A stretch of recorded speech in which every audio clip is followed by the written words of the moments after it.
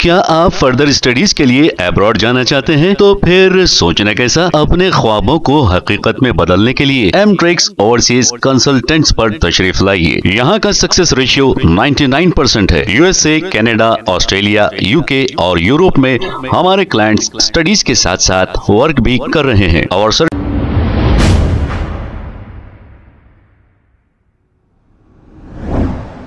वालेकुम नाजरीन seven H news सच को रखे। आपके आगे, आसिफाबाद के इलाके, जैनूर में कुछ दंगेयों की जानिब से मुसलमानों के घरों को और इबादत गाहों को नुकसान पहुँचाया गया।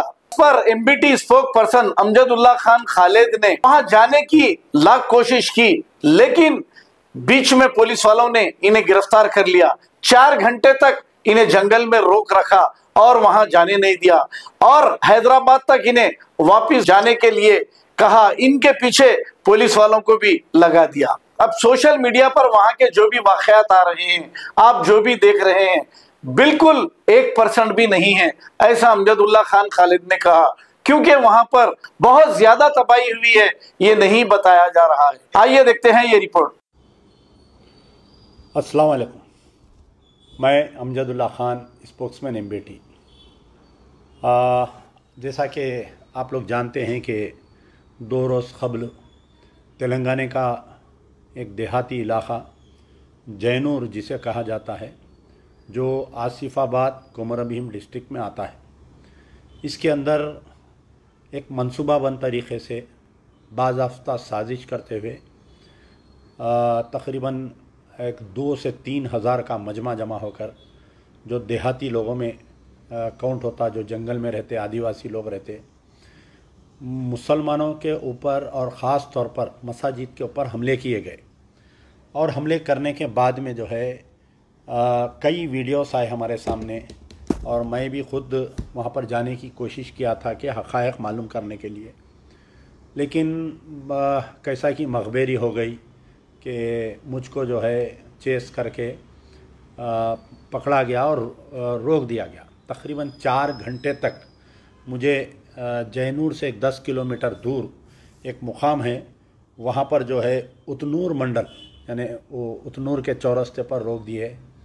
और वहाँ के ये उतनूर जो, जहाँ पर मेरे को रोके थे, वो जो है border district of Asifabad Asifabad के एसपी आए, मुझसे बात किए, फिर उसके बाद में एडिशनल डीजी लाइन ऑर्डर जो है additional DG line order Mahesh Muralidhar Bhagwat जो हमारे सबका डीसीपी साउथ जोन और आपके रचाकुंडा कमिश्नर, फिर उससे पहले के सी आर के चीफ सिक्योरिटी ऑफिसर बड़े ही दयानतदार ऑफिसर और ईमानदार ऑफिसर वो भी वहाँ पर थे।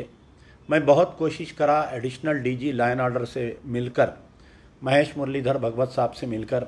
मेरे पास कुछ जो एविडेंसेस है वीडियोस है, जो मसाजिद तोड़ रहे सो वीडियोस है। और आपके वो वीडियोस में देने की बहुत कोशिश किया। आ, लेकिन मैं मिल नहीं सका। दो आईजी साहिबे हैं वहाँ पर बोले मैं उनसे भी मिलने की कोशिश करा लेकिन आ, मुझे मिलने नहीं दिया गया। फिर उसके बाद में मैं ये कोशिश किया कि कम से कम वहाँ के सुप्रीडेंट से अब पुलिस जैन उनसे मुलाकात करूँ मैं आसिफाबाद के जो सुप्रीडेंट ऑफ़ पुलिस है आ, उनसे भी मुझे मिलने नहीं दिया गया। पहले तो मुझे तीन घंटे तक एक जंगल में रोका गया। फिर वहाँ से मुझे गाड़ी में डालकर पहले बोले कि बाजू का एक देहात है, पुलिस स्टेशन इचोड़ा में रखते बोले। वहाँ नहीं रख के फिर मेरे को वहाँ से लेकर एक दूसरे मुकाम पर लेकर गए। बहरहाल, गाँव में, जंगल में तकरीबन एक दो घंटे फिराकर निर्मल में लाके मुझे छोड़े और नाश्ता भी नहीं किया था मैं। वहाँ पर नाश्ता करने के बाद में फिर वहाँ पर निर्मल की पुलिस आके मेरे को बोली कि आपको हमारे को हैदराबाद तक छोड़ने का ऑर्डर है। फिर मैं आया रात में आने के बाद में कल रात से लेके अभी तक भी। तो आज जो है अचानक बड़ा अफसोस हुआ कि मुझे additional DG line order Mahesh Muralidhar Bhagwat साहब का एक स्टेटमेंट आया कि हालात पुरमन हैं और कुछ सोशल मीडिया में भी आया कि हमारे आ, कोई चेयरमैन फ़हीम कुरैशी साहब भी एक स्टेटमेंट दिए हैं कि हालात पुरमन हैं। मैं आप लोगों को ये बोलना चाह रहा हूँ कि जो जैनूर में वाक़ात जो पेश आए, आप लोग जो सोशल मीडिया पे देख रहे हैं, वो सिर्फ़ दस परसेंट देख रहे हैं। वहाँ की अगर तबाही आप लोग देखेंगे तो मैं समझता हूँ आप लोग गुजरात को भूल जाएँगे। इस तरीके से मनसूबाबंद तरीके से वो फिसाद करवाया गया। और वहाँ पर ये बोल रहे हैं कि वो देहाती लोग हैं, उन्होंने मुसलमानों के ऊपर हमला किया।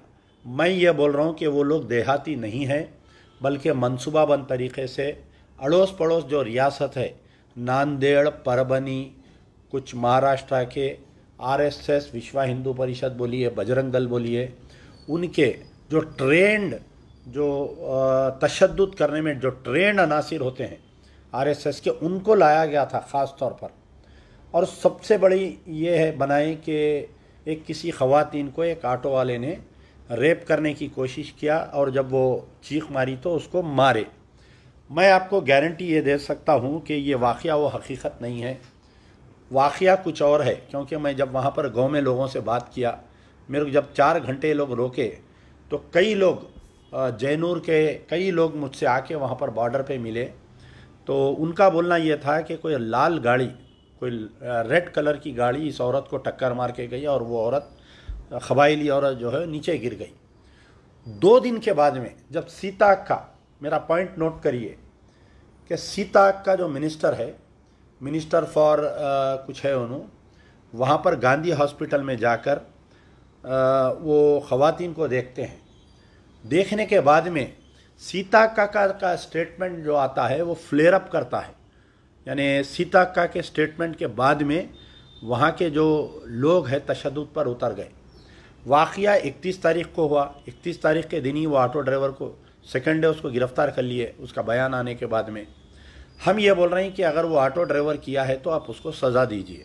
अगर आपके पास एविडेंसेस है, क्योंकि अगर आपके पास सीसीटीवी फुटेज है, अब यहाँ पर यह हुआ कि ऐसा नहीं हुआ कि बाज़ाफ्ता जो है, एक बंद मनाया गया।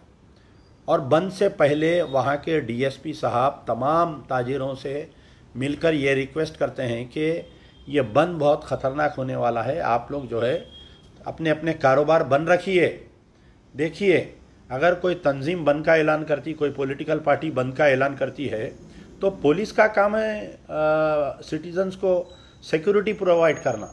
लेकिन यहाँ पर जैनूर में ऐसा नहीं हुआ। वहाँ के डीएसपी और वहाँ के जो आसिफाबाद के सुप्रिटेंडेंट ऑफ़ पुलिस है, कि मुसलमानों को ये बोले कि आप लोग जो है, एक दिन के लिए कारोबार बंद रखिए।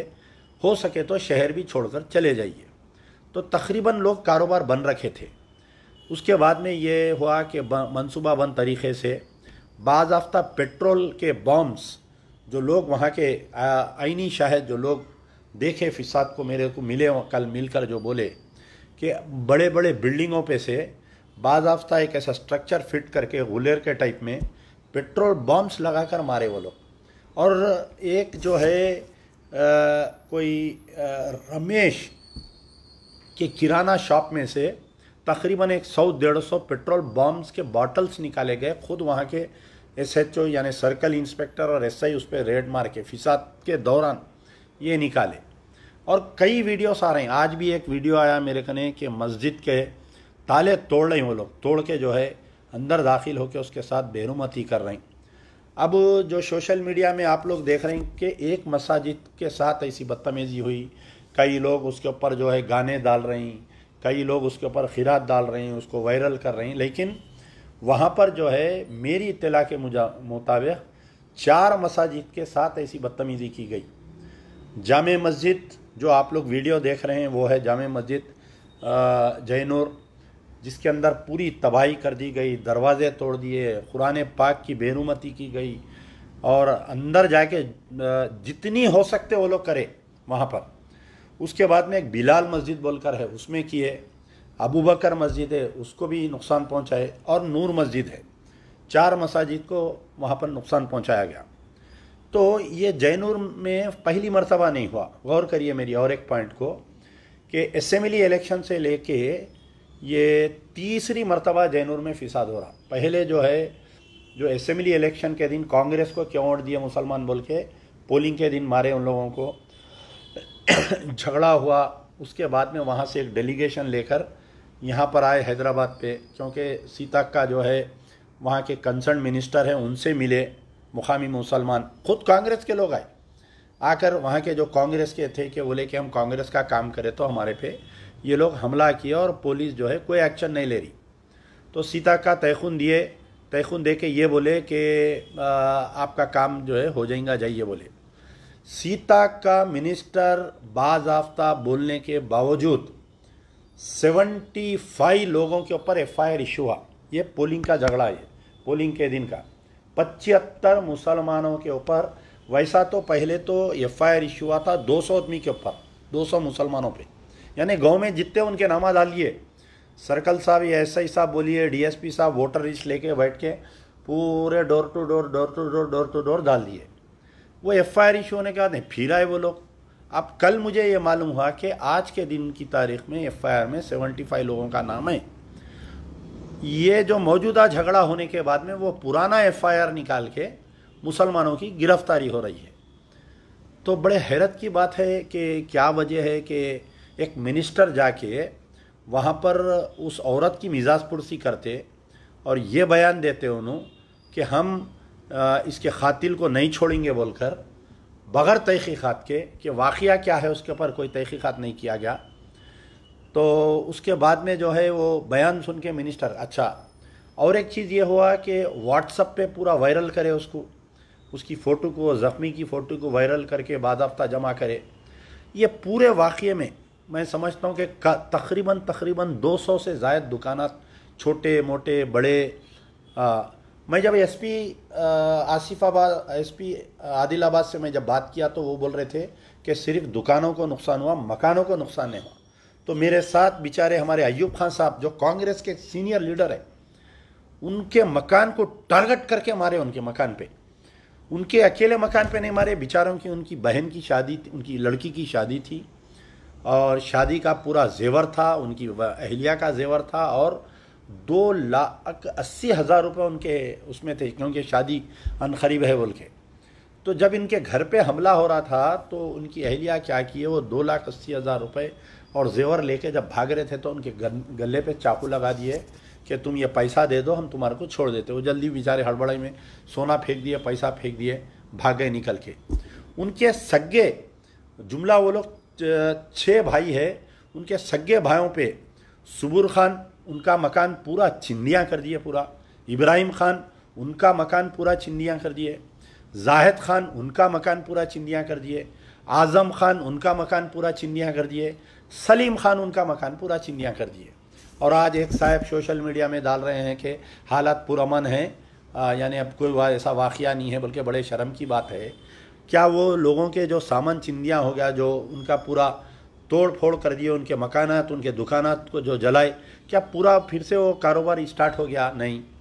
अरे वाक़ हो गया चौथा दिन शुरू, तीसरा, चौथा दिन, मैं समझ, तीसरा दिन ख़त्म हो गया। एक आदमी को अभी तक गिरफ़्तार नहीं करी। एक आदमी, बताओ, मैं चैलेंज कर रहा हूँ कि एक बजरंग दल लारे से सा या आदिवासी बोली आप, एक को नहीं गिरफ़्तार करे अभी तक। मैं सुबह से फ़ोन आ करके मालूम हासिल कर रहा हूँ कि क्या भाई किसी को गिरफ़्तार करे क्या? और जैनूर के मुसलमान तो लावर से हो गए। इतने तंजीमा है हमारे कने, ज़क़़त चंदे का माफिया इतना है, इतने तंजीमा है सियासी तंजीमा है, गैर सियासी तंजीमा है। कोई एक की हिम्मत नहीं हुई जाने की, बताइए आप। कोई एक, यानी घर में बैठ के सोशल मीडिया पे बयान दे दे रही। रिपोर्टरों को गूगल पे पे पैसे भेज के तरह मेरा बयान हाईलाइट कर ले बोल के। टीआरएस की अखिलती कायदीन कर रही हैं। फिर वो मजलिस इतिहादुलमसलमिन में सात एम एल ए, कई कारपोरेटर, फिर बाकड़े पहलवान अकबरुद्दीन ओवैसी। निज़ामबाद में आप ऐलान करे थे, कोई ऐसा वाक़ हो तो भाई को याद करो, चार घंटे में हाजिर हूँ। निज़ामबाद से तकरीबन एक सौ किलोमीटर, डेढ़ सौ किलोमीटर दूर है जैनूर। क्या हुआ? आपके क्या हाथों पैरों को मेहंदी लग गई थी? बताइए आप। क्यों नहीं गए आप? निर्मल में आप तकरीर करके। निज़ामबाद और क्या आप फर्दर स्टडीज़ के लिए अब्रॉड जाना चाहते हैं? तो फिर सोचना कैसा? अपने ख्वाबों को हकीकत में बदलने के लिए एम ट्रिक्स ओवरसीज कंसल्टेंट्स पर तशरीफ़ लाइए। यहाँ का सक्सेस रेशियो 99 परसेंट है। यूएसए कनाडा, ऑस्ट्रेलिया यूके और यूरोप में हमारे क्लाइंट्स स्टडीज़ के साथ साथ वर्क भी कर रहे हैं। और services free profile evaluation pot listing of universities based in eligibility application processing visa mock and guidance free counselling and and admission and accommodation assistance हमारा पत्र Matrushri apartment opposite जोडियो Basheerbagh road Hyderabad. Mobile nine five eight one nine eight seven five two eight खबर है शहर की। खबर है गाँव की। खबर है सारी दुनिया की। सेवन एच न्यूज़ पसंद आए तो लाइक कीजिए। शेयर कीजिए। और सब्सक्राइब करना ना भूले। Seven H news